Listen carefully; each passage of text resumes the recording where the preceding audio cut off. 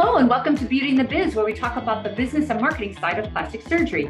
I'm your host, Catherine Maley, author of Your Aesthetic Practice, What Your Patients Are Saying, as well as consultant to plastic surgeons to get them more patients and more profits. Now, today's episode is an interview I did with Dr. Edward Buckingham. He's a facial plastic surgeon with a BA degree in accounting, which I'm sure we'll talk about, and he's in private practice in a gorgeous new office in Austin, Texas, which we will absolutely talk about. Now, Dr. Buckingham attended the University of Texas for his medical degree and his general surgery internship at the University of Texas Medical Branch at Galveston. Now, he then completed a fellowship in facial plastic and reconstructive surgery in Albany, New York. Now, he's won several awards for his academic achievements, as well as numerous publications and presentations, and he's been a guest instructor for the facial rejuvenation course given by the AAF PRS.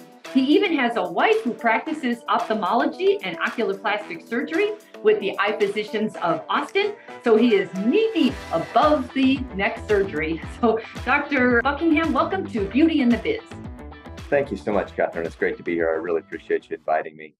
Yeah, it's been a while since we've caught up. So I wanted to ask um, just a quick journey from how did you get from New York to Austin, Texas? Because I know you're not from there.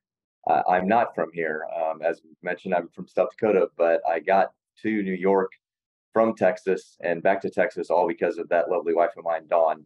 Uh, she's a ninth generation Texan, and there's no way you take the girl out of Texas. You can't take Texas out of the girl, nor the girl out of Texas. It's all it's all a lie. It just goes both ways. So, you, uh, I'm I'm here uh, from South Dakota in Texas because my wife is from here, and it's a great great spot to be. I couldn't be happier to be here, but it's all because of her.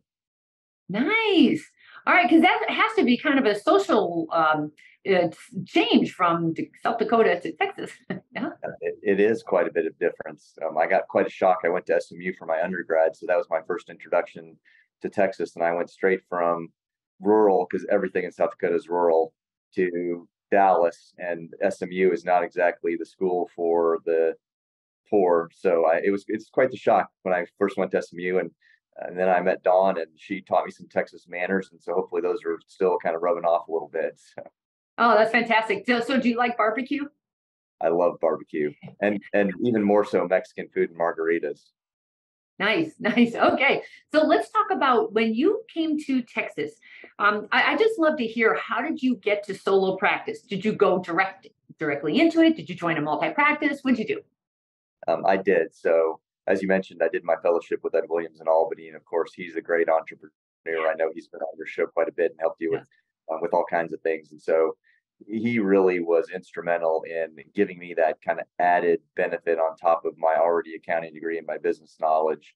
And because I had the benefit of a wife who was joining a single specialty ophthalmology group, we were able to support ourselves financially. So that gave me the opportunity to just hang a shingle, which is what I always wanted to do. So I went straight from fellowship to Austin and basically just started practice from scratch.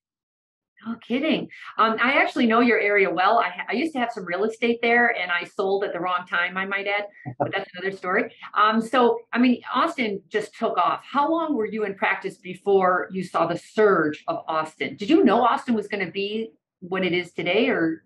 I mean, Austin has always been popular and growing, but I also lived back here in the 90s, and my wife has lived here since about 1976 or so. Mm-hmm. And so it went from a 300 person town, 300,000 person town to around 2 million now. And it was probably one three or so when I moved here, and it's just been growing exponentially. So I don't know that I anticipated the growth that was going to happen. We certainly knew it was growing, but we came again, we just came here. My wife graduated high school here, she has family here. So it was just more of picking a spot because of family reasons more so than anticipating the business uh, possibilities and positiveness about that but it turned out it turned out well. Sometimes it's better to be lucky than good. Good point. And did you always do um, uh, reconstructive as well as cosmetic or how, how is that going to work out the so that when you when you start a practice and you hang a shingle you do everything you possibly can to earn any dime you can. So I did everything and anything. When I first started, I actually subleased space from my wife's ophthalmology practice two two half days a week in Austin because that's all the patients I had. I'd be lucky if I had one or two. And then I also had a space up in a small town called Llano and one in a place called Horseshoe Bay, which are about 30 miles west of Austin and about 50 miles west of Austin, because there was a family medicine group up there that had about 18 doctors in it, and they didn't even have a dermatologist in town. And so I literally went up and did a day a week in those clinics, and they referred me anything uh, on anywhere that needed anything other than um, it skin related, other than the rash. So that was that's what I told them. I'm like, I'll do anything but a rash because I'm not a dermatologist. I don't know what to do. But if you've got a, cyst, a cyst or a lump or a bump or a lipoma or a, a cancer of any kind, I took anything and everything. And then I did a lot of shoe leather. I literally just went around and talked to dermatologists and Mohs surgeons and just basically built a, a, referral practice, just getting people to just send me a skin cancer here and there. And they would literally send me one and I'd do the repair and then they would figure out if I did a good job or not. And they'd be like, okay, he looks like he knows what he's doing. And they send me another one. And then soon enough, it became another one and another one and another one. And then from there, those patients turned into cosmetic patients. And so then the cosmetic side of things slowly grew. So I would say you know initially i did a whole lot of reconstructive work and or anything else that i could you know provide a good service for folks um, and then this then the cosmetic side just slowly built from there and now i do about 90% cosmetics and about 10% skin cancer reconstruction but and that's and that's really all we do now uh, I, for for me in particular is just aesthetics and the only thing non-aesthetic that i do is skin cancer reconstruction uh, we're going to talk about bringing on partners and things like that later, but I, I let my junior associate do some of that, and I've got a fellowship too, and so the fellows do kind of the lumps and bumps now too. Um, but I still really enjoy doing Mohs reconstruction, so I continue to do that, even though I'm 20 years in practice now and could easily kind of get rid of that. But I just I choose not to. I say that I do facelifts to put my kids through college, and I do skin cancer for my soul. okay. Um, when give me the time frame between the time you like there's a grind to what you were doing. You've got three locations. They're 30 miles apart, 50 miles apart. How long did you do that? Um, I did the two satellite offices until I got busy enough whereby I could keep myself busy in Austin. And that took about four to five years. And then I slowly weaned away from doing those little satellite offices. But I hope people hear that because the a lot of the surgeons in today's world think they're going to jump right in and I, I don't think you can do that. I think i mean it takes a minute to get your bearings and um, actually more than a minute it takes years you know? It does and it, it's interesting because obviously things were different when i started practice. I see we've actually had quite a few young surgeons move into austin and mm-hmm. open and open practice for themselves and they really hit the social media hard and kind of get referrals through that and they become really a heavy injectable practice. I mean, when I when I started practice, Restylane wasn't even FDA approved yet. We had we had human collagen products, and so the injectable business was not what it is today. And so that that's what I see the young people doing now is they basically become injectors, and then they convert those patients over to aesthetic patients at you know, surgical patients at some point. But that and and obviously I'm not in their practice. I don't know that for a fact, but um, I don't do social media myself. Um, I I just don't have time and I just don't enjoy it. So, um, but other people in my office will kind of follow those newer surgeons in town, and that's kind of the impression that I get is that they're heavy injectors, and then I'm sure they're getting into the surgical aspect as they get a little more mature. No, I know several of them, and that's exactly what they've done. So, whereas you did recon and got and like actually enhanced your surgical skills, they're actually going another route and doing social media and getting the non-surgical and then hopefully transitioning that to surgical. So there's no one way to do this is the point, you know? No, there's definitely not. You, you, you do anything you can to pay the bills and worry about worry about the rest later. Right. The building that you just left, the, uh, that was super nice building, super nice neighborhood. Um, were you? How long had you been in that building? So I'm in my third uh, oh. my third practice in Austin. Okay. Um, I, I, leased space for about the first eight years and then ran out of space and then leased another space for another 10 years. And so 18 years in, well, it was really about 14 years in, I decided to actually look for land and start the architectural process and permitting process and all that to build the current building that I'm in. Um, but I had two previous leased spaces before that. So I just I just moved into this new building that you're referring to yeah. this last, last March that is that is you know my building that I own. So before you got to that big building, you had a pretty solid practice. Like what what what made up your practice? So I had about 3,500 square feet. I had a little office procedure room, but nothing that I could do level two anesthesia in. So I was using a surgery center full time. And it was just me and a nurse injector and a nurse doing lasers. And so that worked. And then I decided to bring in a junior associate, and the timing was planned so that I would be moving into the new building as the junior associate came on. And th- that timing was a little delayed because of construction delays but we basically were just busting at the seams at the old space when you when you bring in. So now now I've got my junior associate, Dr. Erin Smith, who's been with me about two and a half years. Uh, my current fellow Hudson Fry is going to be joining us and starting on uh, after his fellowship in August. And then I have three nurses who provide injectable and laser services. So there's really six providers in the office at this point, which obviously requires a little more space. And then in the new office, we also have two um, quad ASF accredited operating rooms and recovery space and all that too. So obviously that requires a bigger square foot um, space than just kind of doing what I was doing. Okay, you jumped. So what's the difference? Like, how did you get to that point where you said, okay, I only have like one nurse injector and me making money, and now I've decided to go big. What's the mindset there? And how much um, how much um, fear, um, you know, excitement goes into that? Because that's a big decision to make. How do you make that decision to really jump like you did? Yeah, I mean the the nurses. I mean, my nurse Renee has been with me 16 years. And I I brought her on and introduced her into beginning to do that. Just basically when I got busy enough that I didn't want to be doing the injectable part of stuff, and so I started passing that on to her so I could spend more time doing surgical stuff. And and when and she came on 16 years ago as a clinic nurse and then a few years after that transition. So but basically she transitioned into doing injectables when i got to the point where i couldn't accommodate everybody who wanted to do injectables with me in a timely fashion. So that kind of grew. And that's and that's basically how we determine when we're going to transition to new nurse so i bring in nurses to clinical practice because they need to learn about facelifts and skincare and taking care of post-op patients and understanding what a patient is talking about when they say they have head, you know, heavy eyelids and just facial aesthetics in general. So I'm I believe that a nurse needs to spend some time learning that prior to being allowed to move into the actual aesthetic provider world. And so we convert nurses who have been in our clinical practice uh, into first doing lasers, then neuromodulators, and then fillers as we get um, basically just busy enough to to warrant that. So uh, right now, we've got you know Renee who only does neuromodulators and fillers, and then I've got another nurse, Sarah, who does um, some lasers and she does neuromodulators and a little bit of kind of introductory fillers. And then I have a third nurse who's the newest one in, and she's basically only doing lasers at this point. But as the other one gets busier and we have more people, then she'll transition to neuromodulators and fillers, and then we'll backfill behind her hopefully someday with the fourth uh, individual doing that. Um, so that's how we kind of handle the decisions on doing the nursing, the, the ancillary non-physician providers.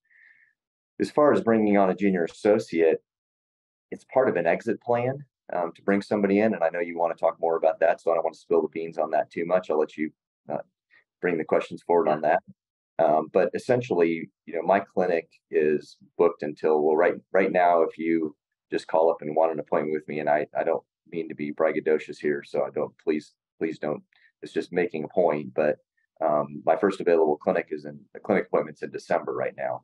And so, and, it, and it's been six to eight months booked out for quite some time. So you have to think at some point that you're losing patients because they're not going to wait six months to see you. And so you can either let them go to somebody else in town or you can bring somebody else in to see them. And I, I probably waited perhaps a little too long to do that, but it just, you, you have other influences in your life and decisions going on that make you kind of figure out when you're going to do it. And so, you know, we did it, like I said, about three years ago is when we really started um, looking, or three and a half years. And then Erin's been with me for about two and a half years.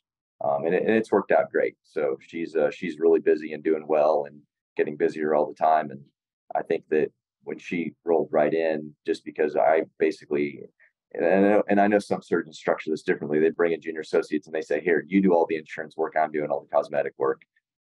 I don't think that that's really a fair arrangement. Um, they need to be able to generate, you know, re- good revenue and do what they can do too. So basically, anybody who calls our office for a uh, a cosmetic appointment, we offer them myself or Erin. and if they don't specifically want me, we encourage them to see Erin because her clinic schedule is more open than mine. And that's allowed her to get really busy. I think she did 50 or 60 facelifts her first year in practice with us. Nice. And is there a different price tiering structure for you versus her? No, you know, I don't want to give the impression that she's somehow an inferior surgeon to me. And I know that there's, it could be some differences in opinion to say, you know, look, you've been in practice 20 years and everybody knows you, so you should charge more. But we talked about it, and between just the two of us making a decision, we didn't feel like there was anything inferior in her quality. She's excellent surgeon and has great training, and so we we charge exactly the same. Um, uh, just my two cents. I wouldn't look at it that way. I would look at it as there's premium pricing to get somebody like you who's got the experience, um, and it's just if you if you want to wait and pay more, you know, for the experience, go with Dr. B. If you're in a hurry um, and price is an option or price is an objective, um, then go with Plan B. I I personally like to give the patients a choice, but it's sold as if you want premier you know, Erin's great, but if you want the guy, you're going to have to wait for him and pay more. Just saying. Yeah. Yeah. No, that, that's probably good advice. I'll uh, I'll take that to our next managers meeting and see what everybody has to say about that. It's not saying she's mediocre. It's saying you're the best, and you pay extra and wait for it. Yeah. Okay. Um, and then um, any staff tips because you've had a lot of staff, um, like everybody. You know, um, any any tips on, especially when you're hiring nurses, any tips on how you're finding them and um, keeping them motivated because nurses can be a little on the touchy side um, once they're around for a while and they start thinking they have a following and it's all about them. Have you had any of those issues? So, so you are referring to the nurse injectors then? Yes. Yes. Yeah. So, I mean, uh, first of all, they have a non-compete, and so they can't just leave, which is important. Eh, you know, in any situation where you've done, and again, I'm not bringing in a nurse injector who's fully trained and, and doing her own thing, and she just comes and joins my practice. I'm taking somebody who's never injected anything in their life and training them up myself. And so that that is important for allowing a non-compete to stick is that you have to actually have provided some training that they couldn't have gotten elsewhere that uh, that makes them beholden to you to some degree. So not that they couldn't leave and, and go outside the radius of the non-compete or move wherever they want to. So that's just a, that's just a part of it. Um, the other part of it is just treating them really well, both treating them well as far as you know just personally and making a friendly, fun environment and, and being a good boss, um, but also treating them well financially.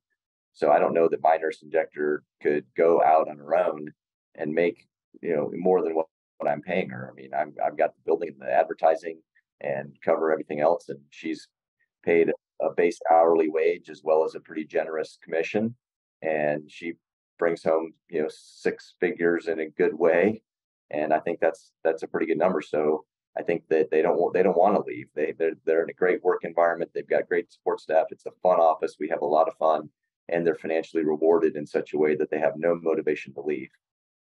What? How do you have fun? I keep saying to the practices in today's world, it can't be all stress.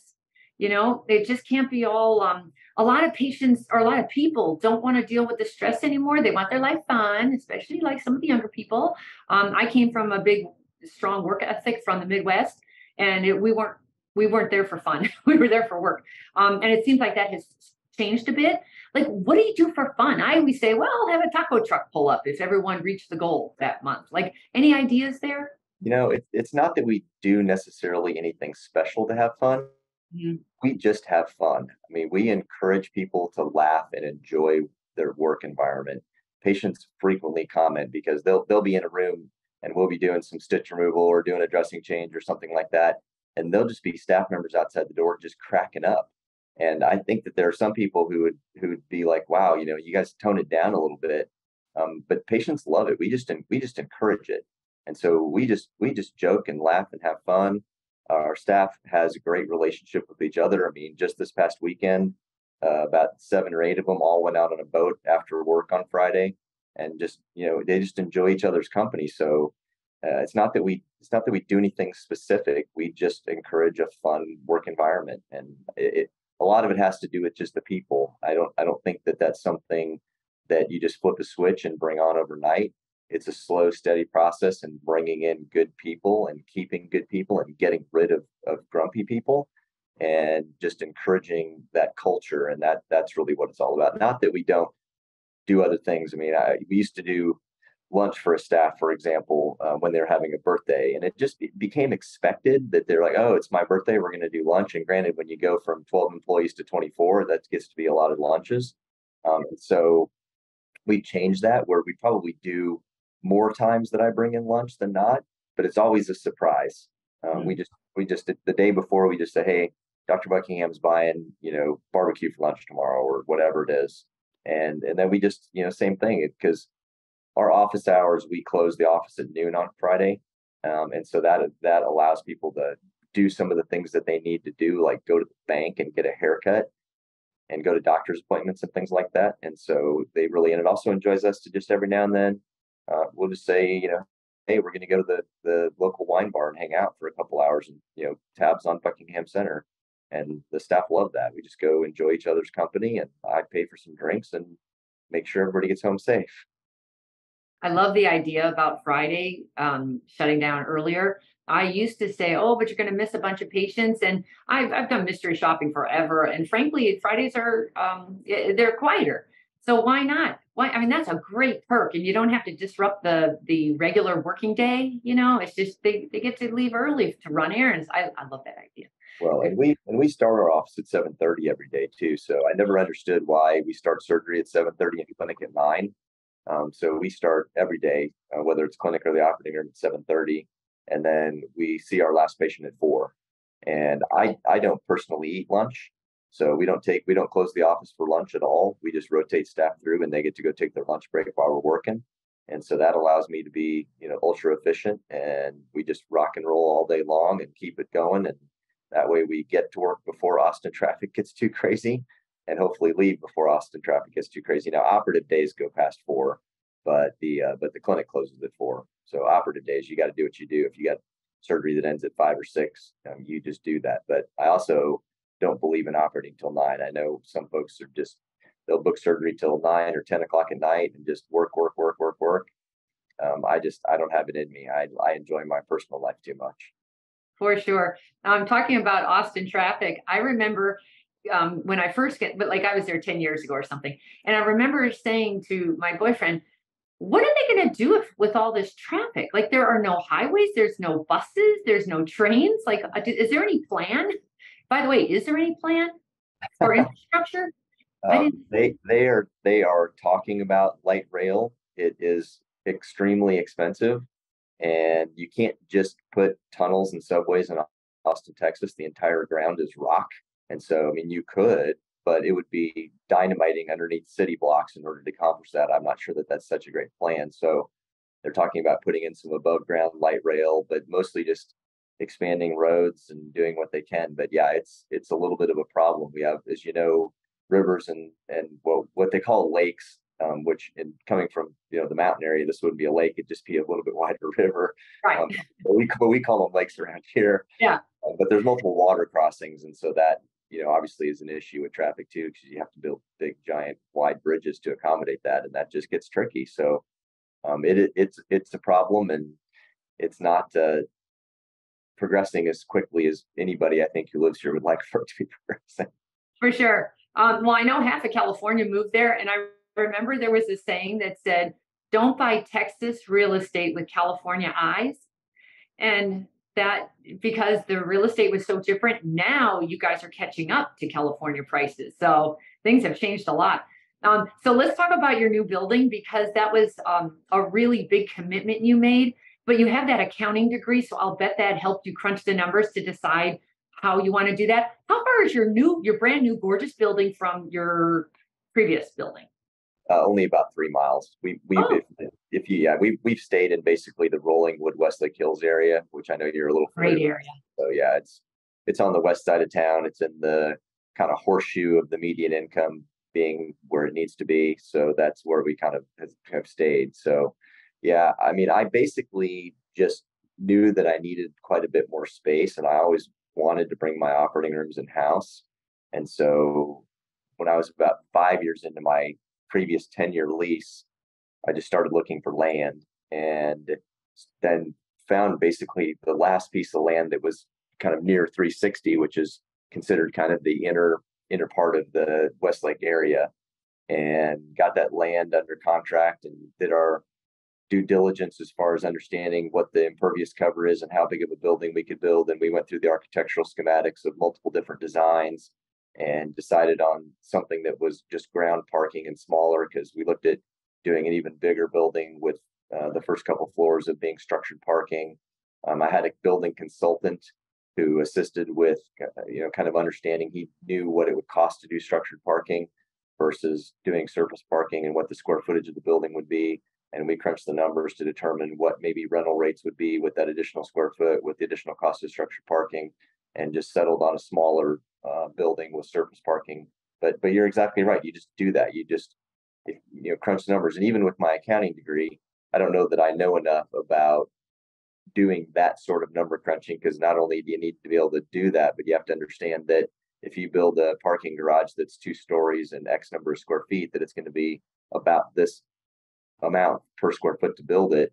And then you have to extrapolate and take those numbers from there. So it's really, you really need a consultant to kind of help you with that sort of stuff. For sure. Um, just give me some of the mistakes made that others could learn from. Huh. In, in, in regards to what? The building? The construction, right. Um, well, hindsight is 2020. Mm-hmm. Uh, we we still, even though we've been in the building for a year, have not finished our punch list. And I, I don't want to go into too much of it because I'm trying to keep this a happy conversation. But we're uh, we're having significant issues with our general contractor. Our general contractor is having significant significant financial issues, uh, as it is sometimes in the construction world. When interest rates go up, you've got yourself over leveraged and extended, and all of a sudden you get yourself in trouble. And and our contractor has gotten himself in trouble. So um, so we've got you know some subs that haven't been paid and some liens and there's lawyers involved. And so uh, i guess if you take hindsight in consideration i would say hire a really experienced general contractor that you know is going to be in business and is going to be able to weather the storm. And even if it costs you a little bit more it's probably worth it. Um, even though i didn't necessarily go with the low cost general contractor and when i hired him he was in, in great financial shape and seemed like the best decision to be made. But I think that you know, from a building standpoint, at this point in time, that that was the the biggest issue. And then, but that that's a hindsight issue, and that that was just a decision that could have been better. I think that the other advice I would give is that we had a really extended time frame for permitting, and it was because of a intrinsic property uh, issue whereby we had a couple of different watersheds on the property and we didn't have any zoning in the city of Austin to accommodate for those two separate water, watersheds. And so the city just didn't do anything. They just sat on the plans and said, well, we don't have any zoning for this, so we're just going to sit on these and not do anything. Um, and I, being naive, just felt like they were just being slow. It didn't occur to me to hire an attorney who had inside leverage with the city to push the process along. So that's what we finally ended up doing is I hired a real estate attorney who's been in Austin for a long time and has pull and we went down and met with the city and actually got them because they weren't even telling us that this is the issue. They just they just weren't doing anything. And so we finally all sat down in the room and they said, well, this is the issue. And we were able to come to a pretty quick resolution and, and get permitting on the road. So I think that that would be the, the thing that I would tell people is that if things don't seem like they're moving, find an attorney who has leverage within the within your system and push it along. And who's played the game before and knows who to go to to get things done. Um, how because I know the last time I saw you at a meeting, everything was delayed, delayed, delayed. The permits. Um, how long did it take you to actually go from, I guess, ground to up and running? So from breaking ground up and running, mm-hmm. it's probably two to two and a half years. Again, patience. You need some patience that you have to really allow for these time delays, right? You do. When I started the process and the permitting and construction, I had about five years left in my lease when I was looking for land. And so we actually a little bit, sorry about the background noise a little bit. I'm at, at the surgery center because I was doing skin cancer. And so we got the cleaning crew kind of rolling in. Great. Um, so anyway, but, um, uh, but I thought that my biggest problem was going to be that I was going to have to find a, a sublease to fill my, right. my space. And I would definitely err on the side of knowing that you, might have to either pay double rent or find this a subtenant sublease because as it ended up, I ended up holding over on my lease for about four and a half or five months. And literally, I mean, I, I had the ability to stay as long as I wanted to, but my my landlord was none too pleased. And so it, it got a little bit contentious at the end. And basically, we got, we literally got out of our old lease space and we're supposed to be moving into the same buildings, into our new building simultaneously. And as it turned out, we didn't have a certificate of occupancy from fire marshal to get into the new building. And so for a week, I I just saw post-op patients, and one of my general, uh, in one of the plastic surgeons in town, who's a colleague, just saw patients who needed to be seen in his office and her office, and then we got finally a week later got our TO and actually were able to move in. a little little stressful. Yeah, I'd say so. Um, but now that you're in, how many square feet did you go in? So our we we occupy the first floor of the building. So the first floor is 7,500 square feet, but there is there is some common area for stairs and elevators. So the actual space that we occupy is around 6,900, right around 7,000. And then the building has got two stories. So the upstairs is tenant space that'll is is in the process of being built out because of course it's nice to have some money being generated for a building that you own that isn't just being generated by you. Right. Plus, but then don't don't you have to um what do you call it when you have tenants come in and you have to rearrange things? What do you call that? Uh, retrofit it or something for the tenant?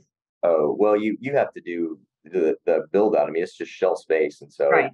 And and there's a couple ways you can have a tenant that comes in and they're like, yeah, I like shell space. Just give me some tenant improvement dollars, and they just kind of take that money and do the build out. Uh, we we looked at that for a while, and we weren't getting anybody to really bite, and so we actually did the architectural plans, and we're in the process of building out the top floor ourselves, and then just getting a tenant to come into the to the finished space. Um, and then, of course, as we're in that process, we get a tenant come that comes along that wants to customize their space, and so we're just actually signing a lease for somebody who's going to take what we did and undo some of it and do it on their own, whatever. So, anyway. But don't you have a say in that because they you don't want them doing any crazy stuff upstairs, right? Oh, I absolutely have 100% say in what they do. I have 100% say in who's up there, uh, what kind of business they have. I mean, obviously, I don't get to control what business they have, but I get to control what businesses go up there and what their finish out looks like as far as the quality of what they're doing, all of that stuff. You bet I have 100% control um, over over what goes on up there. So you have a nice exit strategy, from what I can tell. You're now a landlord. you have a beautiful practice where you can bring on more providers, more revenue generating providers. Um, do you have? A, I know, I know you do. You have an exit strategy. I don't know how far out it is. I mean, are you are you like winding down, or are you just getting started? Um, I am I am steady right now. I don't have any plans to wind down in the next year or two or so. Um, so nothing's really firm on the horizon, but um, but yes. So, and again, th- this is different business models, and different people have different opinions. I know multiple people who believe in separating out all of their business aspects. So they might have their operating rooms as one business, and their uh, surgical practice as one business, and the nurse injectors as one business, and their philosophy on that is to have multiple profit centers and multiple things to sell to sell. I basically looked at that and said that it doesn't really matter because your bottom line is your bottom line from business to business. And so you can take all of that money and put it in one bucket and you look at your your EBITDA and your whatever X factor that is to sell that and it is it is what it is. And so I chose to put all of my operating revenue my nurse injector revenue, the surgeon revenue, everything all in one bucket. And then, in my opinion, that makes it easier to bring on somebody who wants to buy in because they can see that there's all of this other revenue that's flowing to the bottom line that they don't currently get a piece of because they're not an owner. The only thing that the surgeon gets a piece of when they come into a practice typically is whatever percentage of, of money of their own money that they generate that you give them. So you have to have something else that they're not personally generating that's flowing to the bottom line to make it a reasonable situation where they want to buy in. So, as I was bringing in um, my junior associate and I was talking to people ab- about what they'd done, because I know there are multiple examples of bringing in junior associates, and the junior associate says, I'm not going to buy in. It's not worth it. I'm leaving. I'm going to go open my own doors or do whatever I'm going to do. And it just doesn't work out. And so people told me, they're like, yeah, you can't just get a practice valuation and expect them to buy in. Um, and I disagree. And that's exactly what we did. We set parameters and and Erin came in and she did her two years and she got her board certification. And then we got a practice valuation and we said, hey, this is the number. And she said, great. And and that's it. So she bought 20% of the practice uh, just about, well, middle of uh, March, we closed on that. So, and, and that'll be a great investment for her. There's obviously a lot of revenue that's being generated by other individuals, and it goes to the bottom line. And now she'll get 20% of all of that. And we and she and I live by the same formula. So I think that you have to be fair with your juniors. So just like when she came in and I said, look, I'm not going to do all the cosmetic and let you do all the recon. We're gonna we're gonna let whatever comes in and wants to go to you go to you because I wanted her to be able to generate as much revenue as she possibly could, even though she gets obviously the lion's share of that. But now that she's bought in, I I used to just take a salary and then whatever was left over, I just took draws whenever I wanted to, right? Because I owned 100%. Um, but obviously, when you bring in another owner, then that's not the case anymore. You have to split it with whatever ownership percentage they have. And so, um, also to make it fair, I live by the same formula she does. So, up to a certain revenue amount, I get 40% of what I bring in. Above the next threshold, I get 45, and above the next threshold, I get 50, unless overhead's running more than 50%, and then it gets reduced down. But over a certain threshold, you get to you get to take home, you know, everything up to what the expenses are. So just like for her, part of her earnings are going to the bottom line. Same with me. I, I part of my earnings are going to the bottom line. So she gets 20% of what goes to the bottom line that she generates, and she gets 20% that goes to the bottom line for what I generate. So it's just a fair situation. We both get to benefit. And it makes it enticing for somebody to want to buy in and feel like they're getting value for their money. And, and it allows me, I think, you know, I think the biggest problem that doctors do, and I'm not saying this is necessarily in the plastic surgery world, but you know, you see doctors all the time who build this practice for their entire career for 35 or 40 years, and then they go, "Oh, I'm ready to retire. I'm going to sell my practice."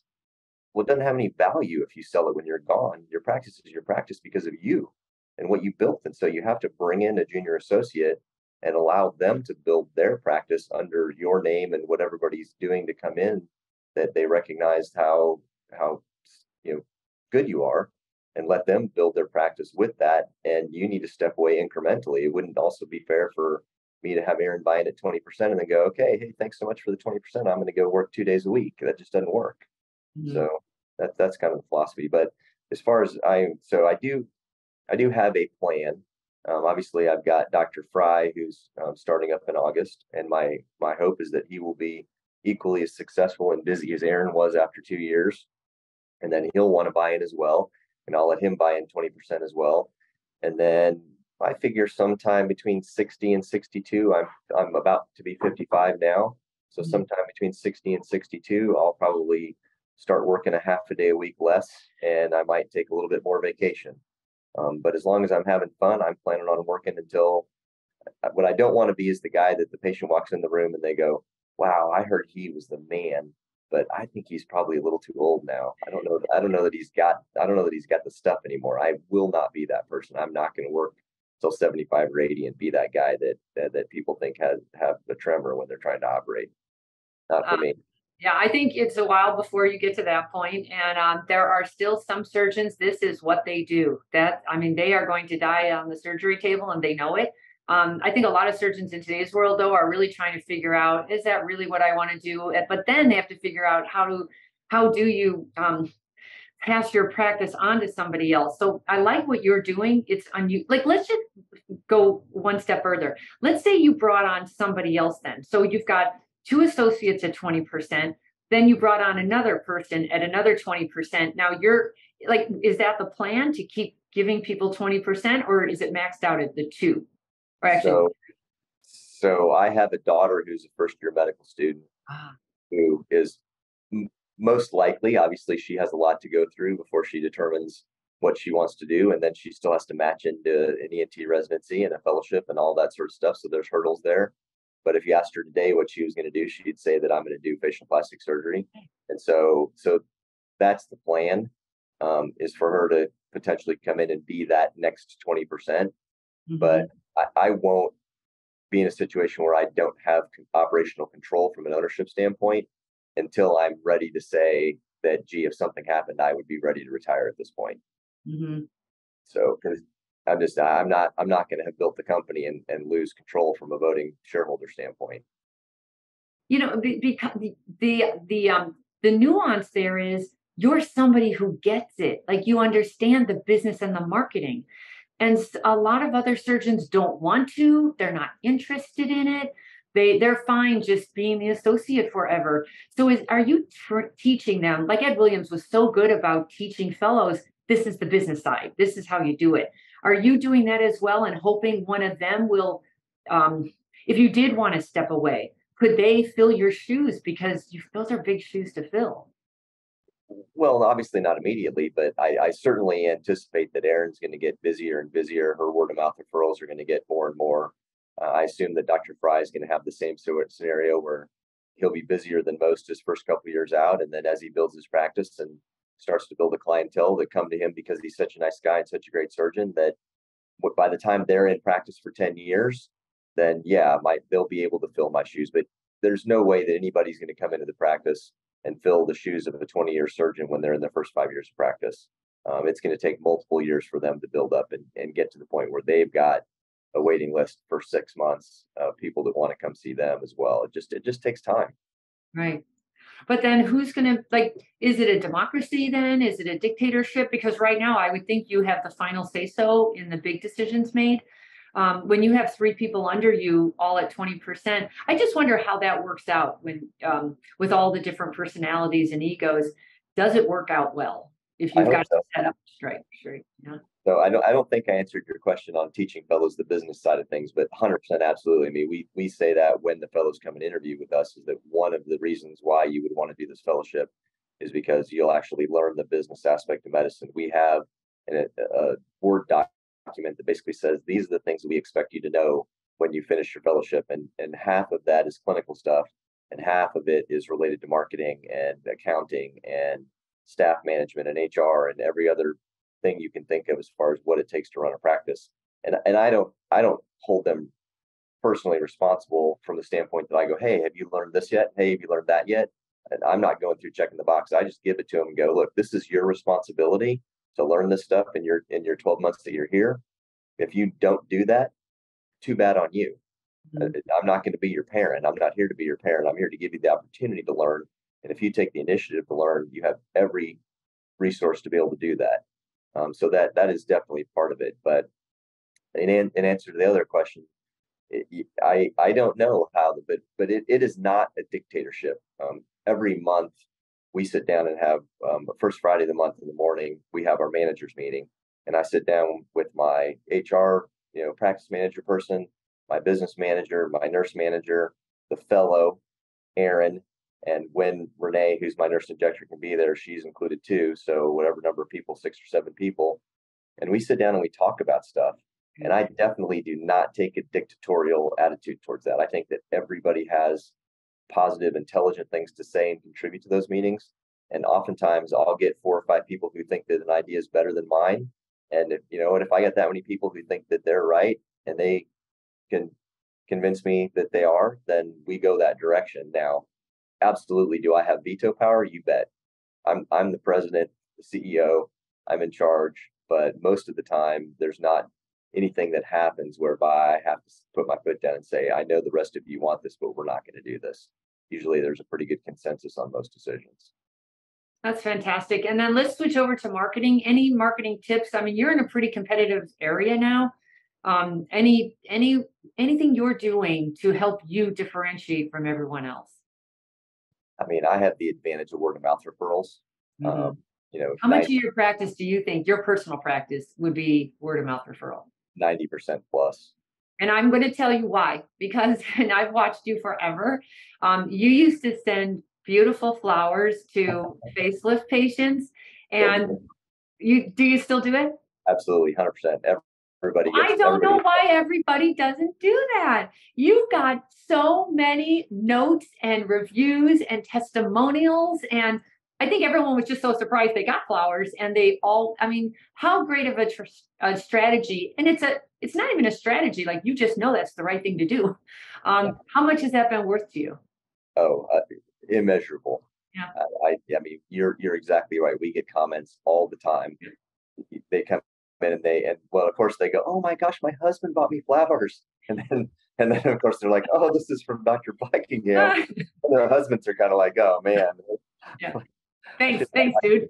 I should have gotten her flowers, but nevertheless, it works. So, uh, so yeah, it, it and it's uh, and it's not overly expensive either. So it's a it's a really nice touch, and I, I look at it as you know when you're in that immediate post-operative recovery period, you don't think yourself that you look very pretty, and right. so it's, it's nice to have something pretty and that smells good to kind of take your mind off of what you're going through, and it, it has definitely paid off um, immeasurably over the years. Patients patients love it. Um, the secret is to get those there early on. Um, I once had a facelift and the flowers arrived um, 13 days later, and it kind of defeated the purpose. I'm like, where have you been? You know? so. Yep. Well, it, and it's crazy. I, long time, believed that the flowers had to be delivered by a florist. And we went through a bunch of florists, and it just was really, really difficult to get good quality flowers that got delivered in a timely fashion. Oh. And um, so, yeah, now as crazy as it is, we just do 1-800-flowers.com. Yeah. And, and people love it because the flowers last for like 10 or 14 days. Right. Just you cannot get flowers that are that fresh.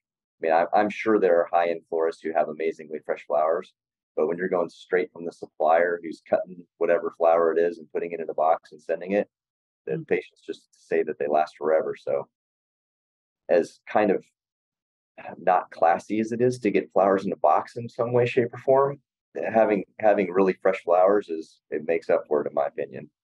Oh, it's so much fun. It's such a surprise. It's just lovely. I think it's a great idea, and I don't know why everyone doesn't do it. But what a great differentiator for you, you know? Um, now, I know you're not a big social media kind of guy. Are the younger folks in your office, uh, the associates, are they into it? Yeah, so so Dr. Smith has a social media account that's associated with the practice that that she runs and does.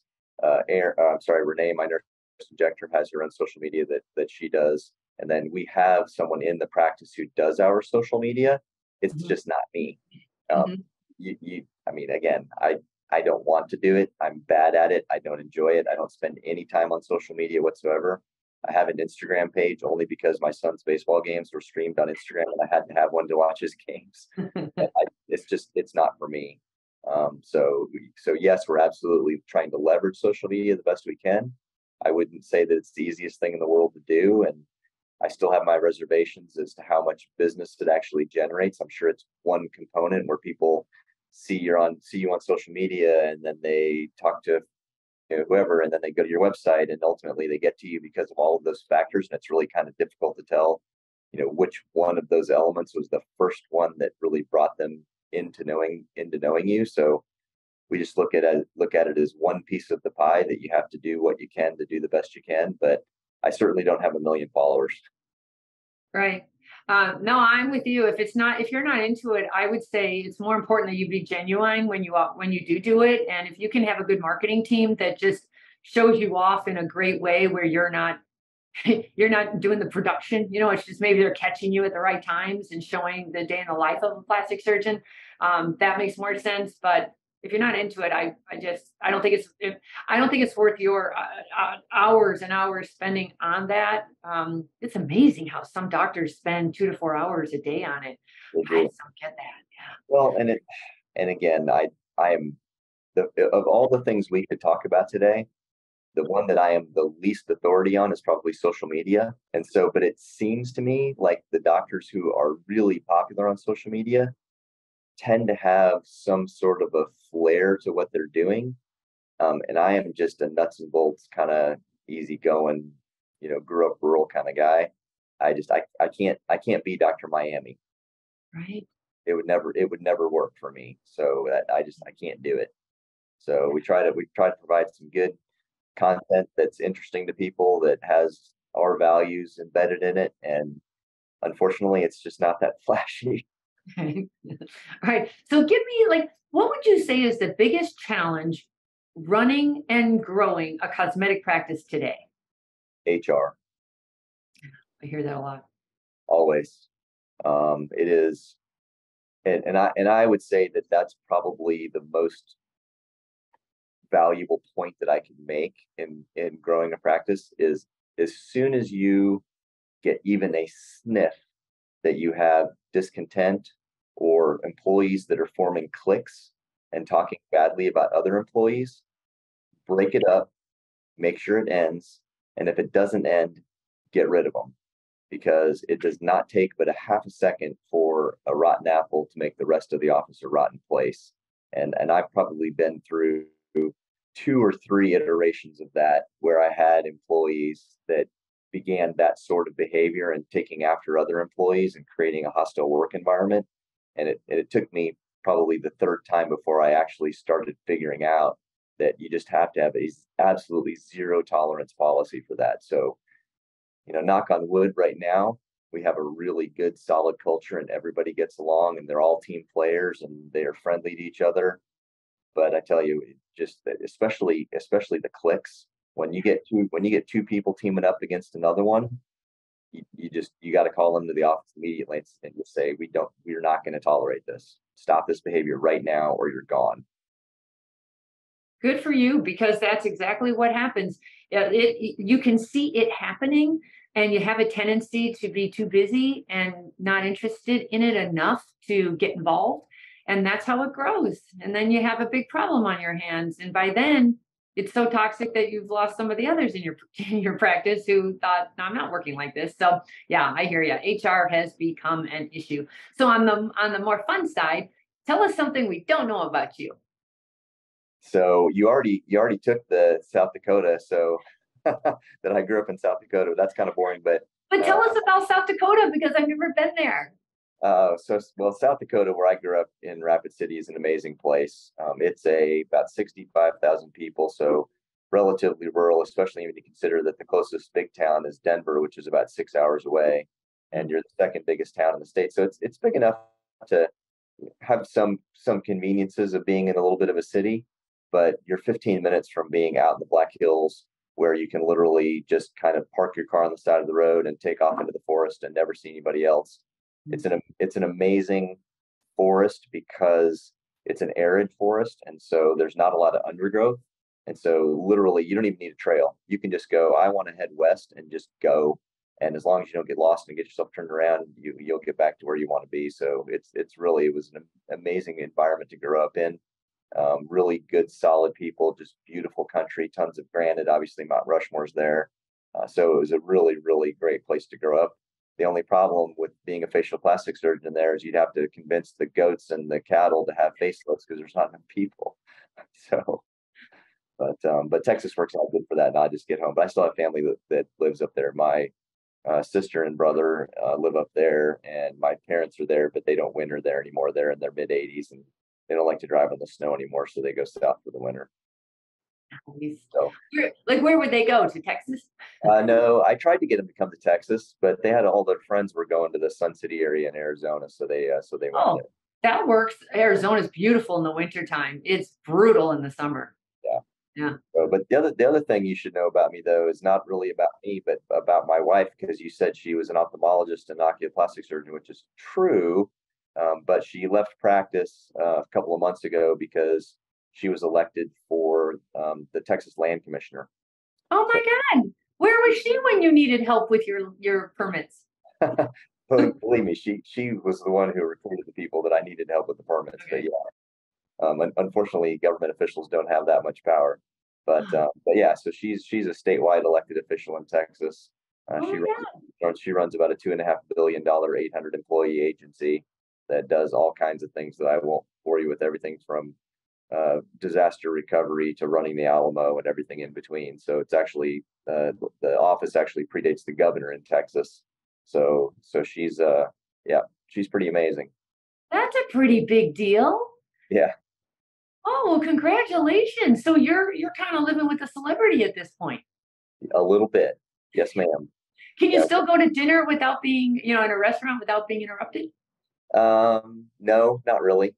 No I mean, kidding. I mean, occasionally, but yeah, but and and most people are pretty are pretty cool and respectful, but we definitely see people everywhere we go that that she knows, and and she of course wants to go up and shake hands and say hi and talk and everything too. But yeah, it's not uncommon for us to have a dinner that lasts an hour and a half, and then walking around the restaurant saying hi to people for another hour afterwards. So, uh, oh, that must be really fun for you. All yeah. right. all right. Dr. Buckingham, it has been a pleasure having you on Beauty and the Biz. I'm so, um, I just have watched you for decades and you're just doing a killer job on the business side. Um, I'm, I, you know, congratulations on your new building. I know you've got that business plan. I know you've got an exit strategy that you're doing what you need to do. Terrific. And isn't your website buckinghamfacialplastics.com? Yes, that is correct. It? Yeah. Okay. All right. Thank you so much, everybody. That's going to wrap it up for us today for Beauty and the Biz. Please do me a favor and subscribe if you haven't done so already, and a review would be terrific. And then if you've got any feedback or questions for me, please leave them at my website, which is catherinemaley.com, or you can certainly DM me on Instagram at Catherine MBA. Thanks so much, and we'll talk again soon. The fastest way to success is to model other successful surgeons who have what you want, but you can only see their results not the path they took to get there. So you continue to jump from one thing to another, hoping to find something that will work for you too. But it rarely does. So try this shortcut instead. It's guaranteed to move you forward. I compiled my intellectual property to grow cosmetic revenues, everything I've gleaned over the years, into one playbook of the most successful practices and what they do to win. Go to cosmeticpracticevault.com and let's grow your cosmetic revenues.